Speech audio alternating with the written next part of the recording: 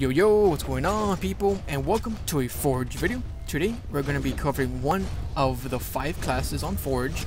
Today we're going to be covering the Assassin. And just like any other good player, before you get into the battle, you gotta make sure what your character can and can't do. Without further ado, let's get down to it. So our main damage ability, one of our main damage abilities is going to be called Strike. By default, it's going to be your left click and it'll be doing some pretty good damage 75 from the back. And from the front it'll be reduced. So most of the times you're going to want to be attacking from the back. Also keep in mind that most of our abilities take up a lot of energy. And uh, your strike ability will allow you to replenish up to 15 um, energy per strike pretty much. Your second most used ability and your second most uh, damage output is going to be a move called puncture Puncture is a damage over time ability that uh, for 4 seconds, for every second, it's going to do 20 damage. And this can be stacked up to 5 times. So Pantera's Kiss, which is our third ability, it's rarely even used uh, depending on what kind of assassin you are. But usually what it does is when you do your uh, your puncture and use Pantera's Kiss, all of the damage that you would have done will be done in one single blow after 5 seconds. Depending on how many stacks you have on puncture, the damage will be increased. So one of our ways to keep up with our target and one of our gap closers is called Shadow Leap. Shadow Leap allows us to teleport directly behind our target. And of course you can follow up to do whatever you want.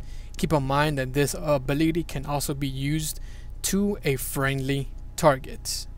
Disorienting Strike. This allows me to stun my target for 3 seconds, doing 40 damage, and their next attack is going to be a miss. A pretty cool ability that we can also do is called Shadow Shift. This allows us to pretty much teleport to a another realm, making this fight a one-on-one situation. And if you have any type of puncture um, dots on your target he will be slowed. And during this time you cannot vanish or teleport behind your target.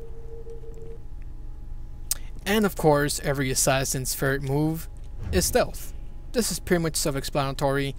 Uh, you want to be detected nothing can pretty much see you. Um, and you can attack freely you want to get out of stealth but once if you either try to teleport behind your opponent or if you attack him during stealth, your stealth will be broken. Last but not least is one of my favorite abilities called Smoke Cloud. Smoke Cloud, when used, any range attacks that comes through will still hit you, but you will take no damage at all. Keep in mind that if you use this ability close to your nearby healer, he will not be able to heal you. So this is a two-way street. This should give you enough time to pretty much run away and re-stealth. Now let's see how all these abilities come together in certain different type of scenarios. In this scenario, we have an enemy pathfinder trying to harass one of my teammates, so I open up with disorienting strike, apply 3 punctures, auto attack so I can get some of my energy back, continue to apply puncture, use shadow shift so no one can help him out, luckily enough I can still apply puncture since he's next to me, and I can finally stun him and pick up the kill. Here, I'm trying to save my teammate's life by stunning the assassin, but since he's been stunned too many times, it just didn't go off. So I'm trying to apply as much pressure as I can with my auto attacks and puncture, but yet I had no choice but to use my shadow shift to save his life and pick up the kill. That's one of many ways of using shadow shift. So my teammate and I pretty much decide to double team on their healer. Sadly though, he does die and I do get a chance to get the kill, but I have two pathfinders around me. So I drop down the smoke bomb hoping to negate any damage that might hurt me, giving me enough time to stealth. Hopefully they won't find me in this little corner. And I actually got away with the kill and not die. Last but not least, I see someone who's pretty much about to die. All I gotta do is shadow leap, auto attack, and bam.